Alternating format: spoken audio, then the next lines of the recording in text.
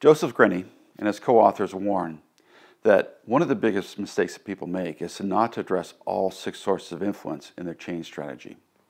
He also warns that if you're facing long-standing, highly resistant habits, you're up against many, if not all six sources of influence.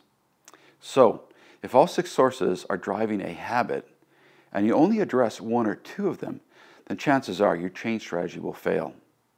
In this module, you'll identify all six sources of influence that can help change the vital behaviors that need to be changed in order to move your organization forward.